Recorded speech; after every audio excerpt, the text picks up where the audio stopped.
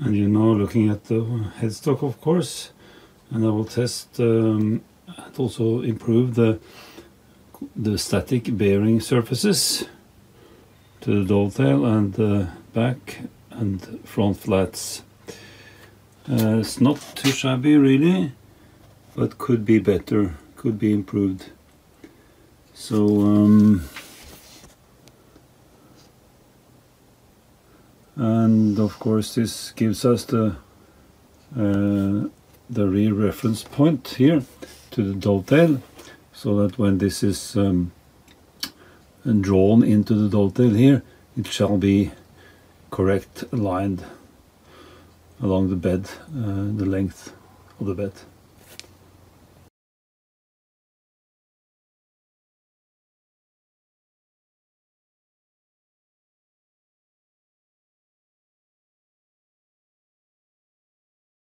and I want to avoid uh, using shims here so I will scrape it in so it's aligned uh, precisely.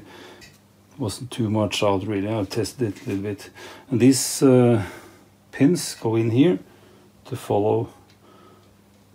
So the contour on the front.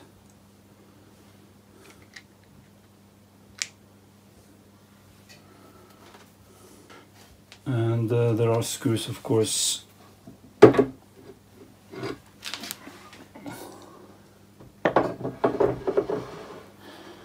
do that and now tuck it to the front this way and adjust here.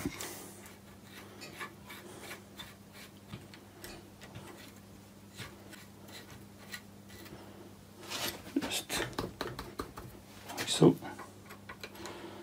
Just tuck it down. It doesn't have to be too hard now. This stage and then we'll mount an indicator here to a test bar. So seating that.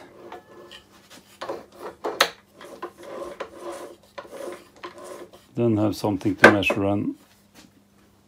Then we'll do the tests both uh, on top and to the side and here and here and also the the outer roundness here.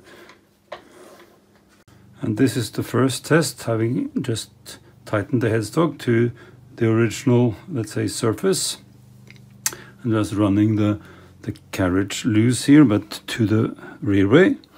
And uh, I've now um, centered uh, or let's say just uh, bump this in so I know and centered it up and down so you can see here when I then test it from here and out it moves like a little bit or in excess of two hundredths or around one thousandth of an inch in the wrong direction. So that means that the headstock needs to be tilted a little bit to that direction. So I have to scrape a little bit off the front here. I mean on the on the dovetail. And um, how is the outer roundness? Well, pretty good. I'll zero the indicator here so you see. It's uh, extremely good, I think, for this kind of machine at the end there. Surprisingly good. That means that the, the cone is not worn and very precise. And uh, I'll repeat the test on top here to see if I also have to tilt the headstock up or down. And I find the highest point just by manipulating, finding where is the highest here and then I fasten it there. So I set zero. I can move it in first to set zero at the inside.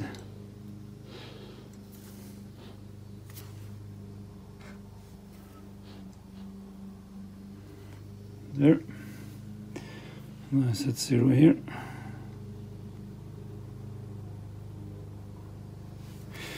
And I move it out again.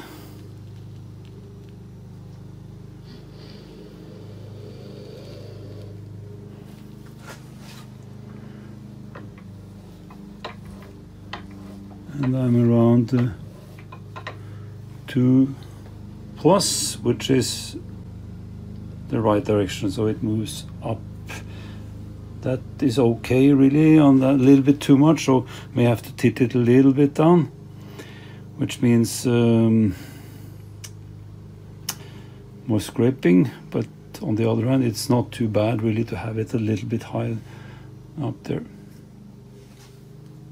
I can of course use shims, so I the lowest I have or the, the thinnest I have, one hundredth of a millimeter, and I introduce three of those just for testing.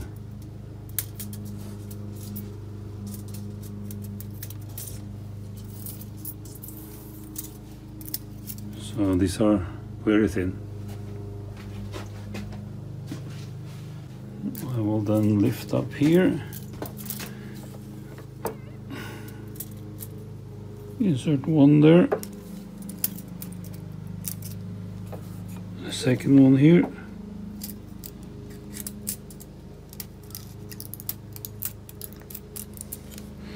And the third one in the dovetail here. And then snug it down again. Because this this will uh, move in the direction I want it to go.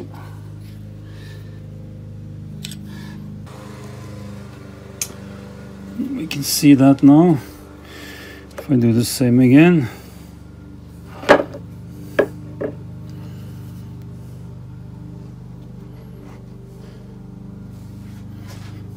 Find zero, or the highest point I'm in, here.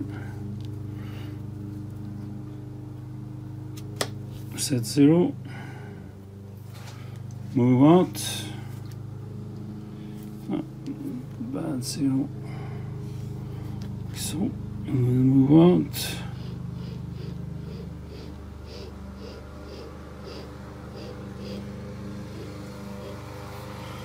And um, it is apparent that it now has moved a little bit less around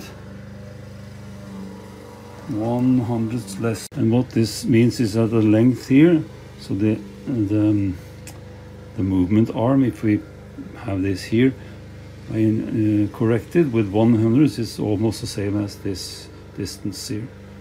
So um, I may have to introduce a 200 shim to tilt the headstock down if I want to really. Not certain if I want to do that. The side-to-side -side adjustment with 100 of millimeter shim was, however, correctly adjusted. So having zero at the inside here, moving out, I have zero there. So it could be a little bit more probably to build in a little bit of um, extra, but it's really, I can adjust it a little bit like so.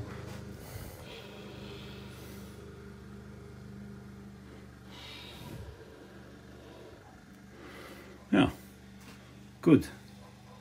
I will, however, do one more test before I really scrape it, because um, uh, I've now only snugged these bolts, but I will also, of course, then tighten from the other side the, the headstock mounting bolts to see if that uh, changes the situation.